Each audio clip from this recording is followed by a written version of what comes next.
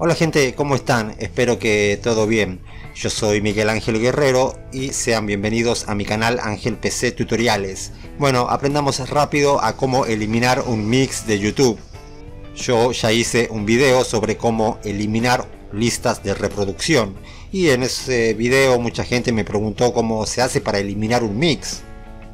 Bueno, aquí les traigo la solución. Me voy a ir primero aquí para guardar un mix, una lista de reproducción. Voy a hacer clic aquí para guardarla. Ahí está. Ahora me voy a la pestaña listas de reproducción. Como pueden ver aquí está el mix, pero no hay ninguna opción para eliminarlo. Bueno, lo que tenemos que hacer es muy sencillo. Presten atención.